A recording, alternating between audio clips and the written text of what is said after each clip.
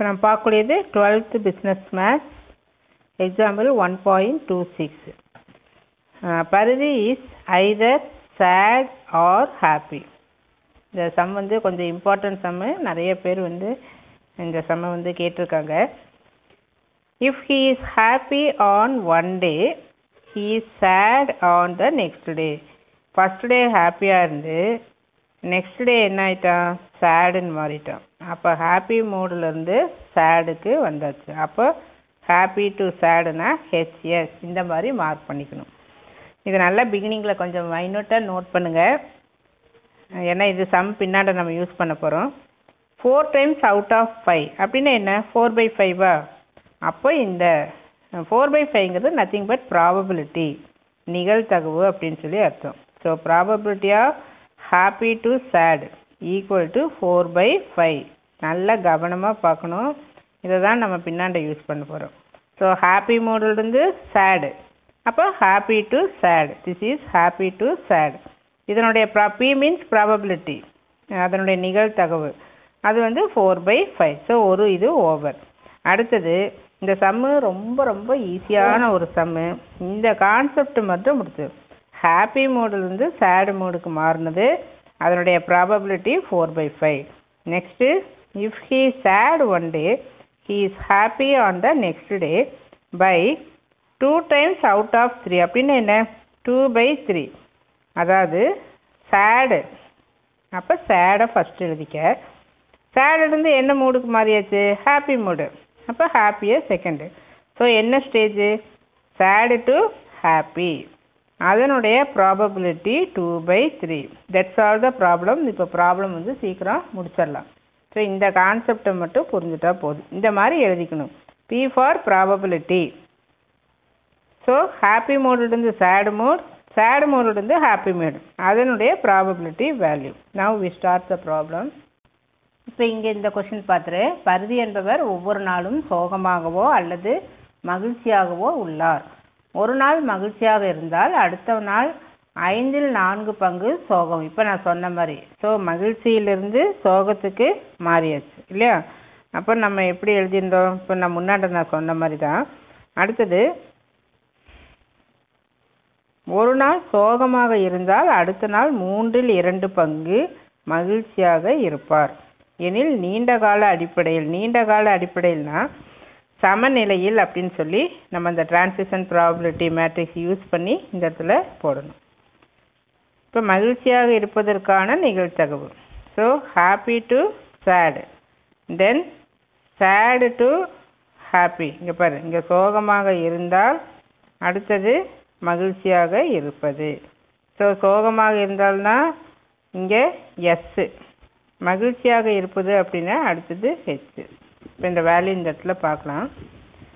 So transition probability matrix மாறுதல் நிகழ்தகவு அணி.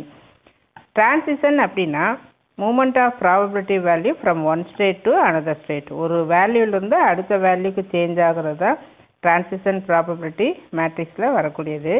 இப்போ நம்ம என்ன பண்ணணும்னா இந்த நம்ம இங்கே இங்கே எழுதணும் இல்லையா? இதை வந்து எடுத்து எழுதணும். இப்போ இங்கே டி அப்படின்னு போட்டுட்டு இங்கே இப்போ சேடு ஹாப்பி சேடு ஹாப்பி கொஸ்டினில் ஃபஸ்ட்டு என்ன கொடுத்துருக்கு? சேடு அதுக்கப்புறம் என்ன இருக்குது ஹாப்பி அப்படின்ட்டு so sad happy sad happy நம்ம யூஸ்ஃபுல்லாக இந்த A one one then A one two then A two one A two two இப்படி எழுதுவோம் இல்லையா? அந்த மாதிரி இங்கே நம்ம P one P one one அதாவது பிஎஸ்எஸ் பிஎஸ்எஸ் ஏன்னா எஸ்ஸு வந்து ஏன் பின்னு சொல்கிறோம்னா நம்ம எழுத போகிற வேலையெல்லாம் ப்ராபபிலிட்டி அதனால் பின்னு வச்சுட்டேன். கன்வீனியண்ட்டாக வேணும் அப்படின்னா இப்படி ஏஎஸ்எஸ்ன்னு கூட எழுதிக்கலாம் தப்பில்லை. ப்ராபிலிட்டி எழுத போகிறதுனால பி அப்படின்னு சொல்லி வச்சுட்டோம் அடுத்தது என்ன வரும்?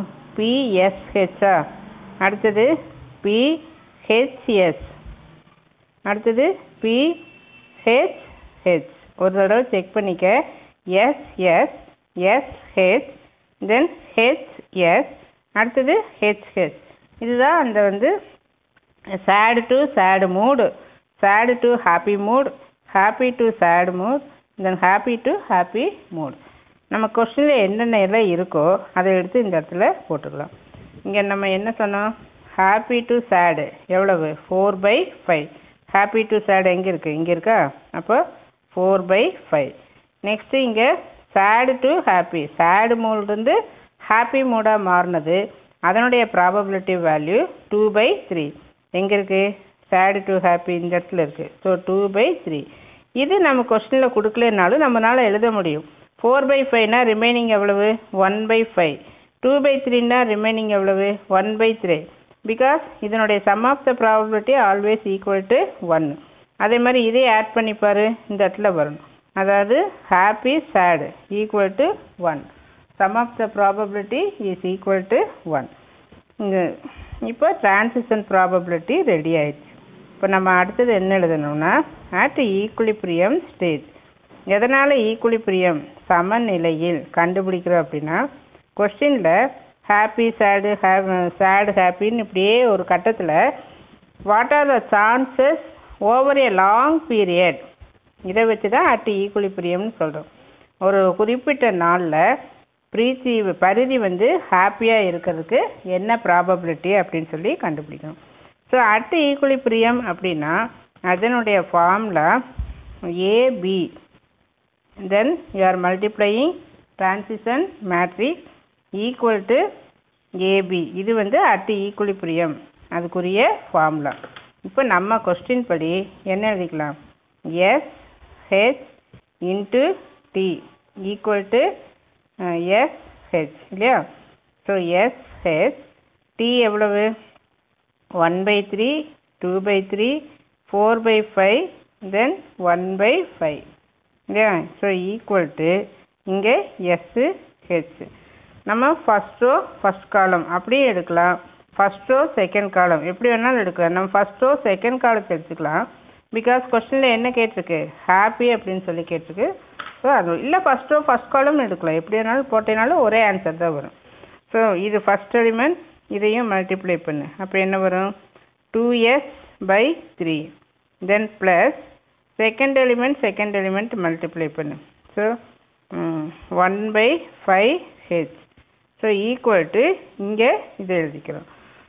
இந்த பக்கம் என்ன இருக்குது ஹெச் இருக்குது or in this way also you can write இப்போ ஃபஸ்ட் ரோ ஃபஸ்ட் காலத்தில் எடுத்துக்கிறோன்னு வையேன்.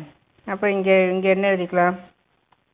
S into S by three then second element second எலிமெண்ட்னா four H by five equal to இங்கே இந்த எஸ் வந்து எடுக்கணும் so either this or this anyway you can take இப்போ நம்ம இதை எழுதிட்டோம் இல்லையா? ஸோ டூ பை த்ரீ எஸ்ஸை வந்து ஒன் மைனஸ் ஹெச் அப்படின்னு எழுதலாம் because we know H plus S equal to one இல்லையா? H plus S equal to one so plus one by five H equal to H so two by three minus two H by three plus one by five H equal to H இப்போ இந்த இந்த two by த்ரீயை இங்கே அப்படியே வச்சுக்க.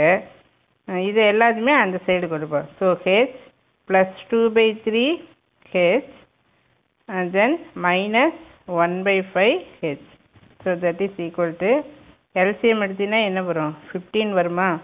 So fifteen H plus இங்கே five times so ten h three times so three H so fifteen plus ten twenty sorry twenty five twenty ஃபைவ்ல three போனால் twenty two H by fifteen இங்கே என்ன இருக்குது டூ பை த்ரீ அப்படின்னு சொல்லி இருக்குது there four H equal to two by three into fifteen by twenty two cancel பண்ணால் eleven இது ஃபைவ் ஸோ ஹெச்சோட வேல்யூ ஃபைவ் பை லெவன் அப்போ ஆன்சர் எஸ் வந்து கேட்கல அப்படி எஸ் கேட்டால் சிக்ஸ் பை லெவன் ஏன்னா இதை அப்படியே செப்பரேட் பண்ணினா therefore probability of happy mood on one day on particular day அப்படின்னு போட்டுட்டு இந்த இடத்துல ஆன்சர் என்ன வரும்?